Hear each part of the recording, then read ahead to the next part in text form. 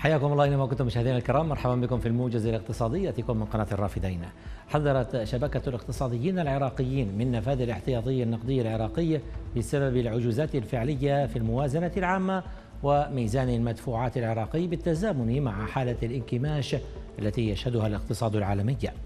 وتوقع المنسق العام للشبكة وقع حدوث عجز مالي ونضوب احتياطي أو نضوب الاحتياطي من العملة الأجنبية والذهب في العراق بسبب انكماش الاقتصاد الدولي العام وانخفاض أسعار النفط وتراجع عائدات التصدير مع استمرار الإنفاق الحكومي المخطط في موازنة 2023 والسنوات اللاحقة.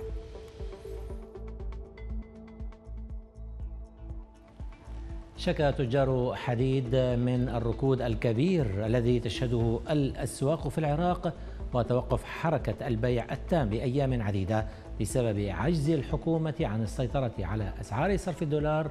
وأضاف التجار أن ارتفاع الدولار وقد انعكس على الأسعار المحلية وعمليات البيع ما سبب حالة من الركود المتزايد مع قلة البناء وندرة المشاريع الاستثمارية التي توقفت منذ سنوات بسبب الخلافات السياسية وعلى أمل أن تتم المباشرة بها بعد إقرار قانون الموازنة.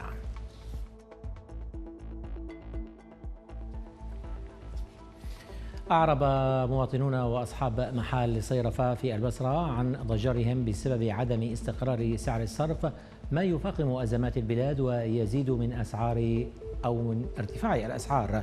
وأضاف المواطنون أن العراق يعاني من الكساد بسبب تخلخل سعر الصرف ما أدى إلى ضعف عملية البيع والشراء وأثر بطريقة مباشرة على القوت اليومي لكثير من المواطنين الذين يعملون بالتجارة مشيرين إلى أن سعر صرف الدولار يتغير من مكان إلى آخر حيث يختلف في كل من البورصة المحلية والبنك المركزي ومحال الصيرفة وسط غياب للحكومة. عن ضبط السوق.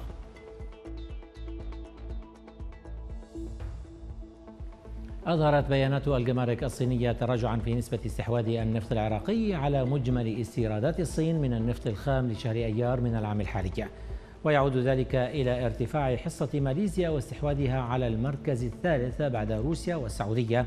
كأكثر دولة مصدرة للنفط إلى الصين بحسب مؤسسة عراقي المستقبل المعنية بالشؤون الاقتصادية والتي رجحت سبب صعود ماليزيا بإيجاد آلية لشرعنة بيع النفط الإيراني حيث تقوم إيران باستخدام ماليزيا لشرعنة بيع نفطها إلى مختلف دول العالم الأمر الذي أدى إلى تراجع معدلات تصدير العراق.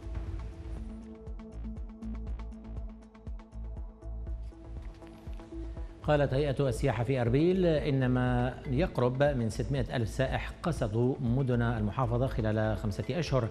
وأضاف مدير هيئة سياحة أربيل أن أعداد السياح مرجحة للزيادة في ظل الإقبال الكبير المتزامن مع الأعياد والمناسبات المرافقة لها.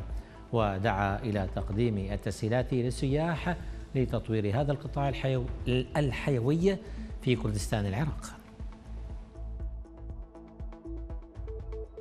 والآن هذه انتقالة سريعة مشاهدينا الكرام إلى أسعار صرف العملات الأجنبية وأسعار المعادن.